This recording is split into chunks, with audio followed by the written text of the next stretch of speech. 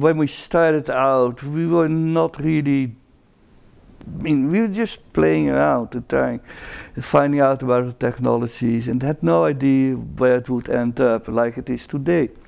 And uh, now today, it's uh, things like it's become way more entertainment uh, uh, and media vehicle than just exchange information about your latest uh, research and uh, the, enormous amount of money uh, got involved with and uh, that's uh, we never realized what we're doing at that time and so that makes it also difficult to say anything about the future because mean, uh, Dr.